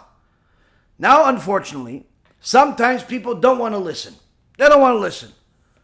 So they look for, who they look for? The Erev Rav. They don't look for Rav, they look for Erev Rav. What's Erev Rav? Rabbis that will tell them whatever they want without knowing what the real halacha is. And they're going to go find somebody. And unfortunately, a story came across my desk where someone said, Listen, I spoke to three different rabbis. I don't know if all three rabbis are connected in the same chamber of Gehenom, but nonetheless, all three rabbis gave the same answer apparently. And all three rabbis said that yes, although she was with a non Jew, not the same person, a completely different person, this girl was with a non Jew for 10 years, not just once, but this is even once. She was not Shomer Torah mitzvot, she was not observant, she's considered like a captured baby, a Tinok Shenishba, so therefore, it's this halacha doesn't apply to her, she's allowed to marry a Kohen. That's what she heard from three different rabbis. We double checked with Poskim, with Shulchan Aruch, with Rabbanim, very quickly. Rabotai, the answer was so conclusive that it's embarrassing, embarrassing that people dare call themselves rabbis and still say these foolish things. But the clarity on this issue, the clarity on this issue is so extraordinary that the Gemara in Masechet Ketubot, page 13b, and also the Shulchan Aruch and Even HaEzer in uh, Siman 6, Seif 8 and 9, all say that a woman that was a Jewish woman that was with a non-Jew, even one time, even one time, is forbidden to marry a Kohen ever. So much so that even if she was raped, Hashem Yishmor v'yatzil, even if she was raped, meaning she wasn't with the Kohen on purpose, she was raped by a filthy, disgusting disgrace of a human being that happened to be non-Jewish. She was raped. Even that, she's still forbidden by the Torah, according to Shulchan Aruch, according to Poskim, according to the Gemara, according to all opinions. She's forbidden from marrying a, a, a Kohen, even if she was raped. Needless to say, if she did it on purpose. So, that's the actual halacha. It has nothing to do with modern, not modern, really religious, less religious. This is Torah. When a person observes the Torah, they listen to the Torah. But unfortunately, what happens is sometimes a person is like they got miseducation from their parents who told them, listen, you have to make your way in life even if that means finagling a few things, cheating a few things, turning a blind eye to a few things, and they teach the kid to lie. They teach the kid to cheat when necessary. Even though the Torah says, midvar sheker tirchak, from a thing of lies stay away from. They say maybe that halacha is for Moshe Rabbeinu, not for us in today's age. In essence, the kid grows up into a liar but not a liar that's compulsive everything and every day, but whenever is necessary on an as needed basis. And unfortunately, they feel like lying to the rabbis is an as needed basis. So what ends up happening is that sometimes they don't tell the rabbis the full story. And they simply say, listen, I heard that I'm not allowed, but the rabbi doesn't know, so he can just marry me anyway with this Kohen that I'm not allowed to be with. And what they end up getting is a life full of curses. A life full of curses, not just in this world, but in Olam Haba. So much so, the Parashat Nitzavim says such a person is going against the Torah. All of the tzaddikim of Am Yisrael and Shamayim, all of the tzaddikim, Avraham, Yitzchak, Yaakov, Moshe Aaron, David, Shlomo, Rabbi Akiva, Rabbi Shimon bar Yochai, Rabbi Meir Baal HaNes, HaRav the Or HaChaim, the Steipler Gaon, all the, tzad, the Gaon Mivilna, the, the Arizal, all the tzaddikim that we've mentioned and that we didn't mention, all the ones that we know about and we don't know about, all of the tzaddikim that ever lived, all say Arur, this person is Arur, the husband is Arur, the wife is Arur, forever. And everybody says Amen. And so are the rabbis that told that person that they could marry. Which in essence enabled that person to do it. That's how bad it is. So when you see people simply hearing the truth, but ignoring it, going against it, looking for maybe a backdoor way to get what they want anyway. Unfortunately, Rabotai, it's a very sad, very sad situation because there is no tikkun for such a problem. There is no tikkun. They can never stay married. Like meaning that their tikkun would be to get divorced. That would be their tikkun. They cannot stay married. So that means if they have kids, all the kids are problematic. It's such a horrible thing, and people don't understand it. They don't understand it. And those rabbis that misinformed those people, whether they did it out of ignorance or they did it out of just pure wickedness, doesn't really make much of a difference. The outcome is still the outcome. And it's critical for a person to know that when a Kadosh Baruch Hu said something in the Torah, whether you accepted it in your life or not, whether you were educated with it during your childhood or not doesn't really make much of a difference. You're obligated by it nonetheless because your neshama was at Mount Sinai and said Naaseh v'nishma, we will do and we will fulfill, and we're here. That's what your neshama, your neshama already accepted it before you came into the world.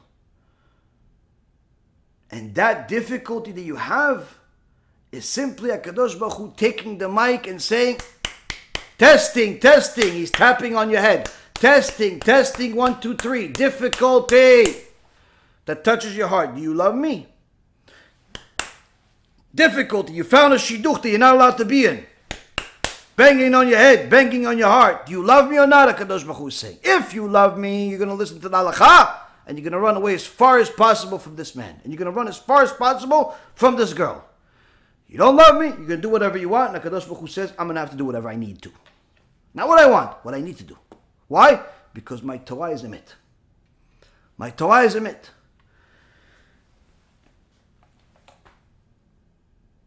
The Gaon Vilna says that sometimes people don't want to listen, and sometimes those people are your kids. So to have kids that listen to parents is a very, very big thing. It's a very big privilege to have kids that listen to parents. Very big deal to have kids listen to their parents. The Admor Mitzantz, Arab Halberstam Allah Shalom, one time met the Khatam Sofer. And when he saw one of the Khatam Sofer's children, the Ktav Sofer, he was only 20 years old, and he had a conversation with him. And he was so impressed with how dedicated he was to Torah, how much Yirat Shamayim exuded from him. It's unbelievable, young man.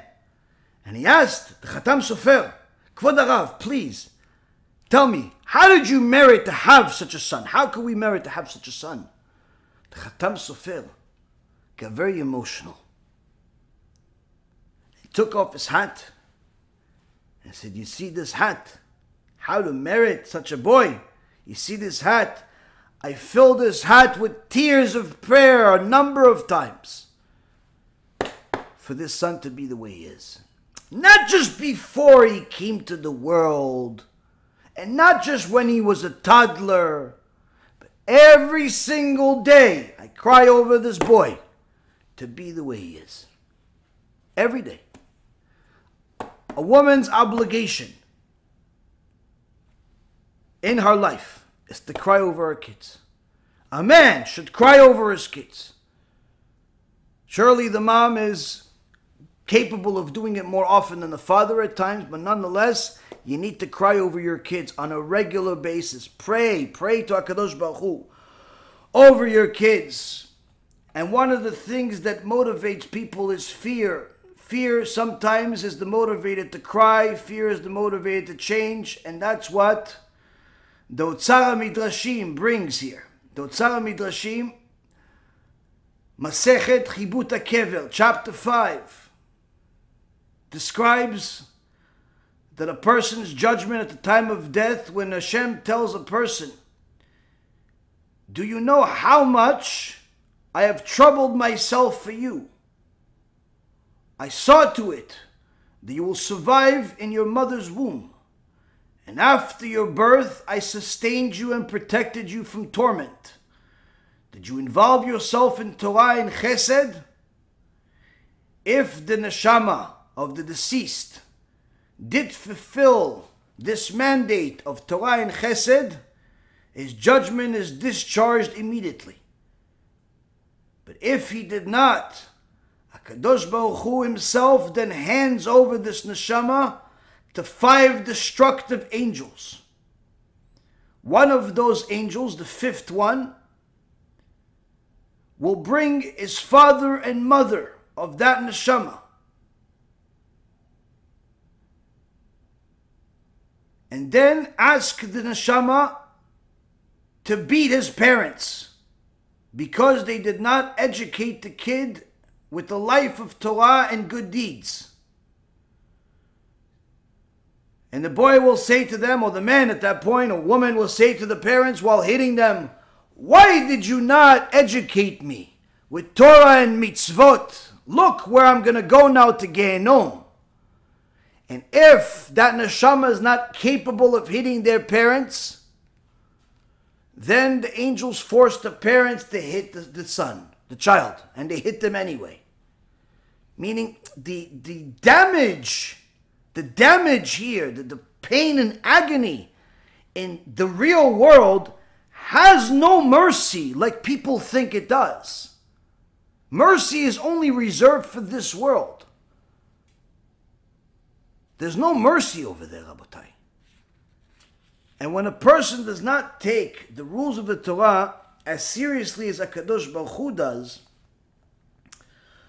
unfortunately, they're reserving their life of eternity to a place that they will never even want their enemies to go to. Now, the Gaon said that sometimes people don't want to listen. People simply don't want to listen. And he says to his wife, similarly, you should take care that to guide the, your daughters in other matters such as lashon hara, gossip. They should not eat and drink without uttering a before and after blessing. And the Birkat Hamazon and Kriyat Shema should have proper kavana and intent. But what if they don't listen? What if they don't listen?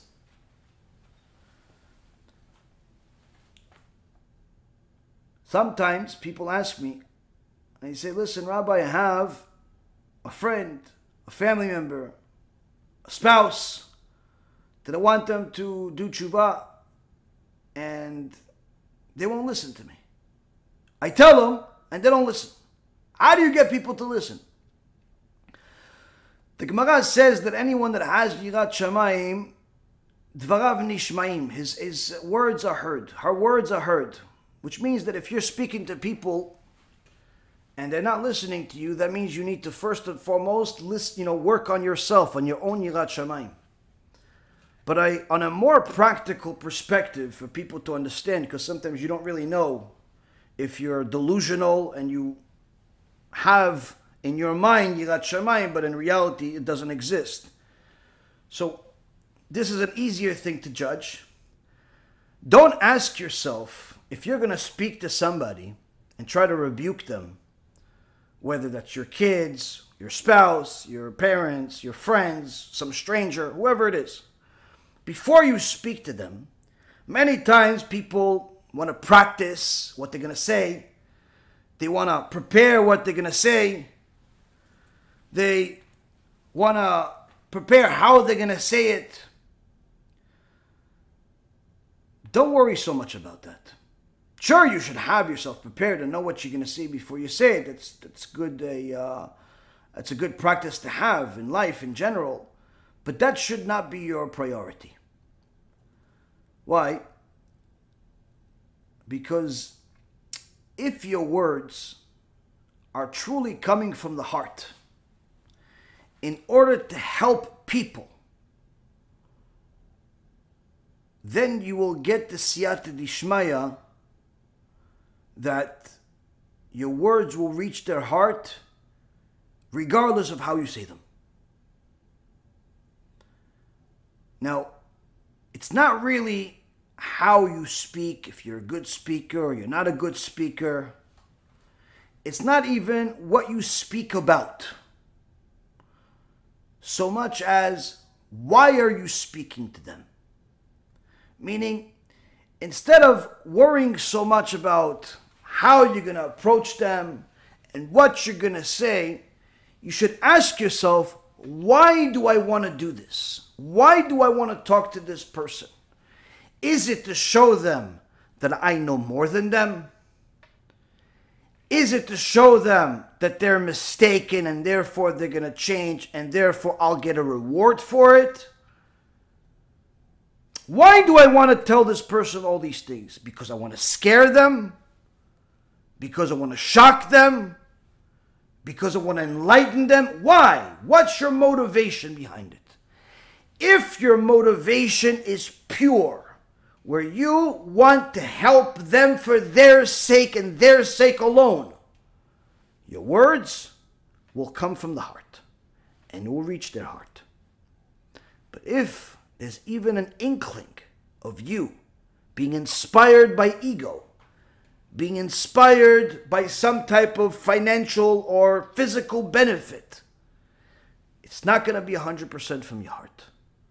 And the more it's not from your heart, the less effective it's going to be. Less heart, less effect. But not heart, oh no, no, I really care about them. No, no, no. It's not caring about them. Caring about Akadosh Baruch Hu. Caring about their relationship with Akadosh Baruch Hu. Caring about a child of Akadosh Baruch Hu, even if it wasn't that person that you happen to be related to. Meaning, it could be anybody. Anybody that's a child of Akadosh Baruch Hu, and you would do the same thing. If you would do that, your words will reach the hearts of every person. But if you have a bias, and you're trying to do it because you want to get honor, you're trying to do it because you want people to say Chazak U'Baruch. You're trying to do it just to see if it works. You're trying to do it because you're trying to make money. You're trying to do it for all types of other reasons. It won't work as much. In fact, it may not work at all. That's why sometimes you'll see certain people, they've been speaking to people for 10, 20 years. How many Baalei Teshuva did you get? I don't know, maybe 10, 20. Oh, so like one, two a year. Yeah, isn't that great? Sages say if you get one a whole life, you already got yourself, yeah, yeah, all that stuff is great, but 20 years you got 20 people. You really don't care about them, do you? What do you mean? I, I, my whole life, 20 years, I dedicated to help people. Yeah, but you know you could could have done a lot more if you cared about them more than about how much money you're going to get to help them more than how much you care about the building, more than how much you care about your family, more than how much you care about your life, more than how much you care about everything else. If you cared about a Kadosh Baruch Hu 100%, your words would work. Your words would work. This is one of the things that each and every one of us can do. We could all ask ourselves, why do I want to help other people do tshuva? If your answer is genuine and really something that's pure, Akadosh, Akadosh Baruch Hu will make everything work. Akadosh Baruch Hu will make everything work. Because after all, he wants his kids to do tshuva. He's just looking for people to want the same thing as him. And if you want to be a vessel that Hashem uses to help people do tshuva, Hashem will make you a vessel. Even if you don't know how to speak the language, even if you don't have necessarily all the tools, we'll make it work. We'll make it work. That includes also your kids. That includes your kids. If you tell your kids that you care about HaKadosh Baruch Hu, sometimes that's not going to affect them. But if you show them that you care about HaKadosh Baruch Hu, that will affect them. How can you show them that you care about HaKadosh Baruch Hu? You learn Torah in your house. You learn Torah in your house regularly. Even if you learn in a kollel, you also learn at home. And not only learn, you practice. And not only practice, you teach. And not only teach, you work with them, you play with them, you show how the Torah is beautiful. The Torah is beautiful. Make the Torah beautiful in your house. Make the mitzvot extraordinary. The Gaon Vilna is mentioning the mitzvot of blessings. Arav Yagen Alav Shalom used to say that many parents teach, teach their little kids when they get something, they get a candy, they get a cake, they get something, Tagid toda, say thank you. Arav again says, don't teach them say thank you. Teach them, say a blessing, say a bracha. What thank you? Thank you to HaKadosh Baruch Hu that you got this food. Say a blessing. If you say a blessing with kavanah, your kid will want to say a blessing with kavanah. I had one person say that their kid, three, four year old kid, says to them, I don't like the long Birkat Hamazon. I want the short one. You know, he's talking about the uh, Ala the one that you do for Mezonot. I don't like the long one. So the father says, But I love the long one. I love the long one. So the little kid is curious. Why would anybody want the bigger one? Why would anybody want the longer blessing? So he asks his father, like, why? His father says, Do you know that the longer one, I get to ask Hashem for more stuff? I can ask him for more good things, more good health, more toys, more Torah, more mitzvot, more, more, more, more, more stuff. And also, you see how we ate all this stuff? When I give him a longer blessing, I say, give me even more, meaning the next time he'll give me even more stuff. And don't you want more stuff? And every kid's gonna say, "Yeah, I want more stuff. I want more toys. I want more. I want more, more, and more." Every that's like the mantra of every kid in the world: more. So if you want more, we have to say more. Thank you to Hashem. So what does the kid say? Yeah, yeah, I love the long one. Literally, thirty seconds. The kid did tshuva. Three years old, four years old. Why? Because the Abba loved the long one. Love the long Birkat Hamazon. If the Abba didn't really like the long one, do you think the kid would have learned? Absolutely not. Why? Because the father, if he didn't really love the long one, he didn't love the long Birkat Hamazon, he wouldn't have had the siyata dishmaya to say such a thing. You see, sometimes people, they have a confusion where they do a blessing so they can eat. That's confused. That's spiritually confused. Meaning that the blessing is treated as a barrier to food. They do a blessing so they can eat. If someone wants to be righteous, if someone wants to have their kids as righteous, without even rebuking them, without ever lifting a finger, they have to start training themselves to eat in order to make a blessing. Meaning that the blessing is the priority of the meal, not the food. Meaning that, that it's an entire mentality change. Yeah, I eat, but it's because I want to do Birkat Hamazon. Like, I'm going to eat bread, not because I particularly love bread more than everything else, but if I don't eat bread, I can't do the long Birkat Hamazon. I can only do the short one on mezonot and a cookie. ah, I want more. I want to talk to Hashem even more, especially since Birkat Hamazon is the number one most important blessing in the entire Torah in all of Judaism. More important than Shema Israel, more important than Amidah.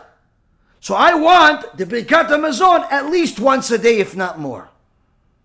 It's the number one blessing. Maram Masechet Brachot says, who wrote the Birkat Hamazon?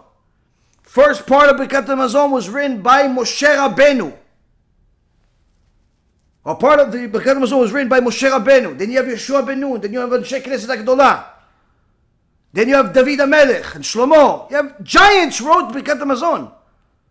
Giants. I want to be like them. And if I can't be like them, I want to emulate them. I want to do whatever they did. So I eat because I want to bless. I'm gonna eat bread. Dafka because I want to do Birkat Hamazon. Not, I'm not gonna eat bread because I don't feel like doing Birkat Hamazon. If you start living your life that way, your kids will learn from your actions and see your expression of love to Hashem through your actions. The Ben Ish Chai says that when someone does Birkat Hamazon, when someone does Birkat Hamazon,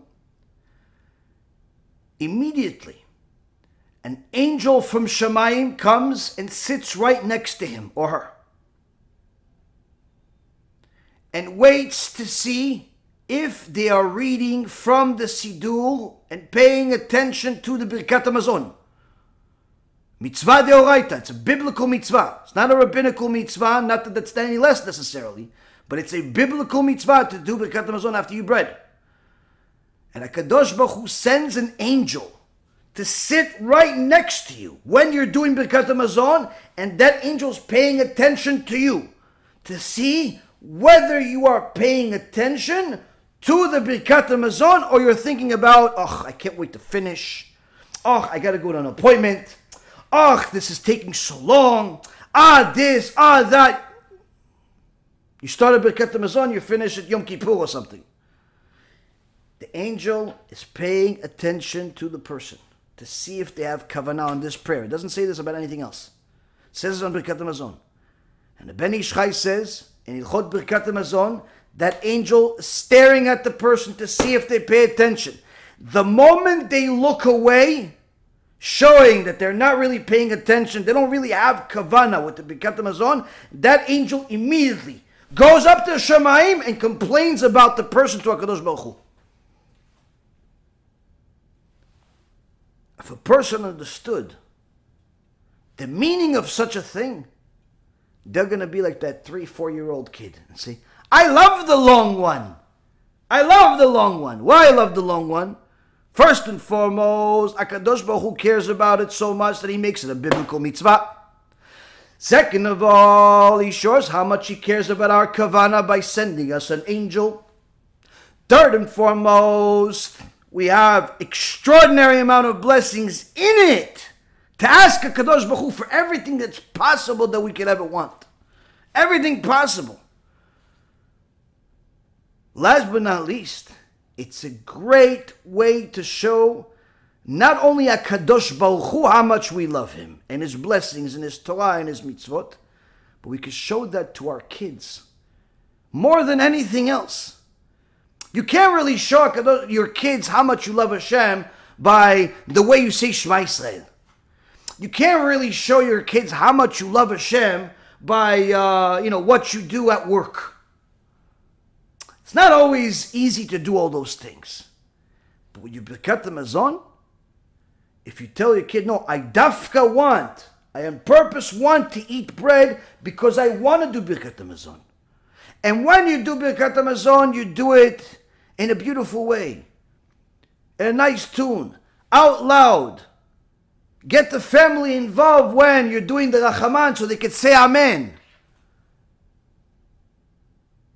Get everybody involved, and you'll see this becomes one of the greatest teachers, greatest teaching tools you have in your household, and also greatest sources of bracha. You see, Rabotai Karim, the Birkat Hamazon is a big deal. but so is chinuch. And you can use both together.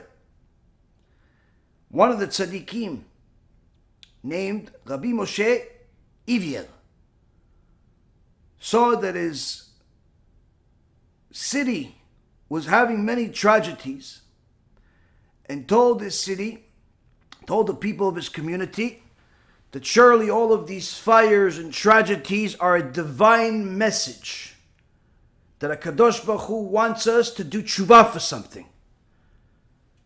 Now, obviously, the people, the community, were religious people.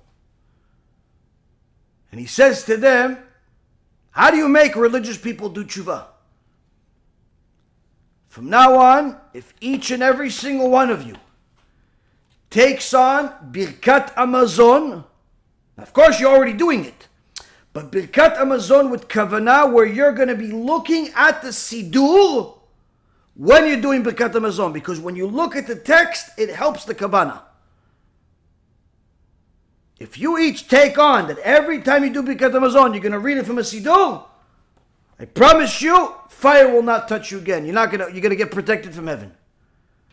The entire community was baffled at how the Rav, he was a Ish Kadosh, but they were still baffled how he could make such a promise, but they listened to him, and almost everybody took it on themselves except one person. And suddenly the fires stopped coming, the tragedy stopped for a long period of time.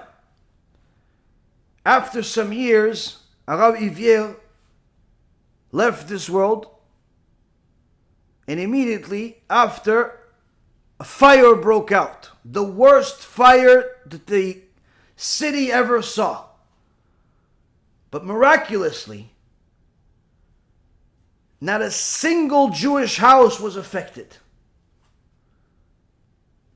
One house of the one person that was skeptical of Rav Ivier. Only one person was skeptical, didn't take it on.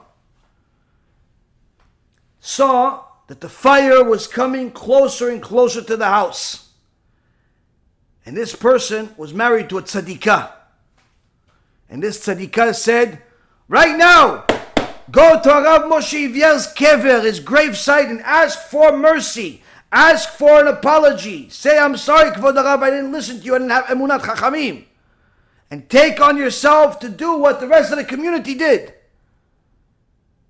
This person ran, went to the gravesite, asked for a mechila from the holy, from the kadosh, Aramoshiv, ran back home, saw that the fire is coming closer and closer, and put itself out right next to his house.